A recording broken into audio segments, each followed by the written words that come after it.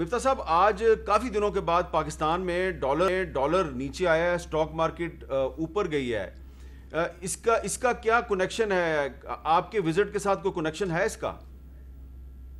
हामिद भाई देखिए वैसे तो मार्केटों के बारे में रो, रोज की ऊपर नीचे के उतराव चढ़ाव के बारे में कुछ ज़्यादा नहीं कहा जा सकता लेकिन मार्केट को अगर ये लग रहा है कि आईएमएफ से हमारे मुजाकर जो हैं वो कामयाब हो रहे हैं और इन शाह आई एम एफ़ की हम सेवन्थ रिव्यू को मुकम्मल कर लेंगे और फिर हमको ट्रांश मिलना शुरू हो जाएगी।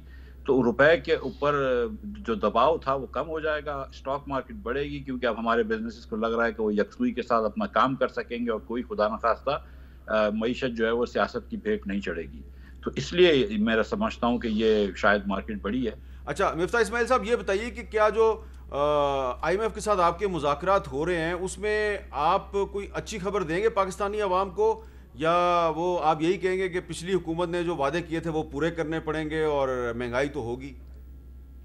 देखिए हामिद भाई हम ये ज़रूर कह सकते हैं कि जो महँगाई पाकिस्तान में आज है उसकी तीन चार बड़ी बुनियादी वजूहत हैं। एक तो ये कि रुपए का बहुत ज़्यादा गिर जाना डॉलर की वजह से वो बुनियादी वजह है उसकी। दूसरा ये है कि जो जो एडमिनिस्ट्रेटिव जो गलतियाँ करी हैं पिछली हुकूमत ने, मिसाल के तौर पर डीजल से महँगी बिजली बनाना, चार में से तीन साल एलएनजी मंगवाना भूल जाना फर्नेस ऑयल से बिजली बनाना, महँगी बिजली बनाना मेरिट ऑर्डर को वायलेट करना दूसरी दीगर चीज़ें।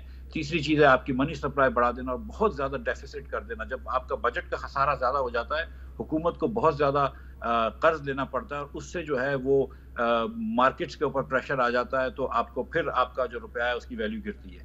और एक चीज़ जो है वो एग्जॉजिनस प्राइसेस होती है कि बाहर के अंदर क्या प्राइसेस हैं तेल की दीगर चीज़ों की। हम्म। वो चीज़ जो आखिरी वाली चीज़ मैंने कही वो हमारी कंट्रोल में नहीं है लेकिन बाकी तीन चीज़ें तो हमारे कंट्रोल में हम आपको करके दिखाएँगे इंशाल्लाह अगले तीन चार महीनों में कि एडमिनिस्ट्रेशन बेहतर होगी। यहाँ पे हम गैस से सस्ती बिजली बनाएँगे इन ताला हम आपको करके दिखाएँगे कि हम डेफिसिट को कंट्रोल करेंगे। ये जो तीन साल इन्होंने बड़े बड़े लंबे लंबे बजट के खसारे करे, हम उसको कंट्रोल करके देंगे। हम आपको बगैर टैक्स रेट्स बढ़ाए हुए जमा करके देंगे पैसे। ये सब चीज़ें हम दावा कर रहे हैं, लेकिन अगले तीन चार महीने में आपके सामने चीज़ें आ जाएँगी, इंशाल्लाह।